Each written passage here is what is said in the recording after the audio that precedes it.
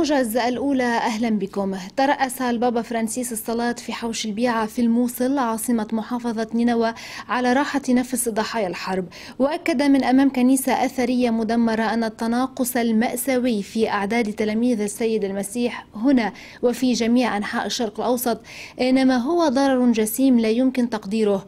واعتبر البابا أن الهوية الحقيقية لمدينة الموصل هي العيش المشترك مشددا على أن قناعته تكمن بأن الأخوة أكبر من صوت العنف والكراهية.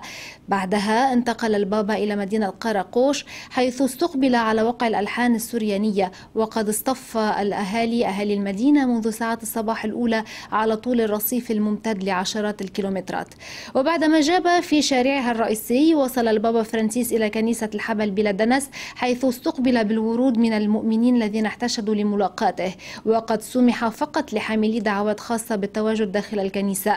وعكست الفرحة حجم الألم الكبير الذي تعرض له أبناء قراقوش الذين عانوا الأمرين. اعتبر البطريرك الماروني الكاردينال مار بشارة بطرس الراعي خلال عظة الأحد. أن ليس اللبنانيون في أزمة نظام بل في أزمة انتماء إلى جوهر الفكرة اللبنانية مشيرا إلى أنه لو وقعت الأزمات بسبب تطبيق الدستور لقلنا إنها أزمة نظام لكنها وقعت بسبب عصيان النظام ووصولا إلى امتلاك الدولة والعبث بالوطن والمواطنين.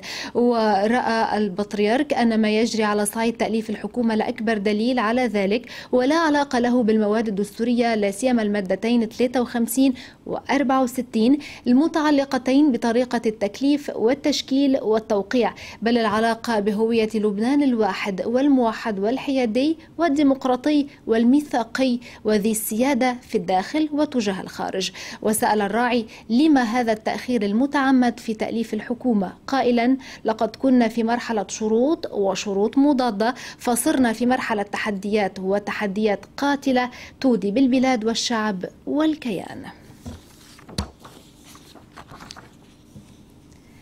نقلت قنوات إخبارية عن التحالف بقيادة السعودية في اليمن قوله إنه دمر خمس طائرات مسيرات ملغومة أطلقها الحوثيون. كما أعلن التحالف تدمير طائرتين مسيرتين أطلقتا تجاه المملكة حاولتا استهداف مواقع مدنية وارتفاع الإجمالي إلى عشر طائرات مفخخة خلال الساعات الأربع وعشرين الماضية.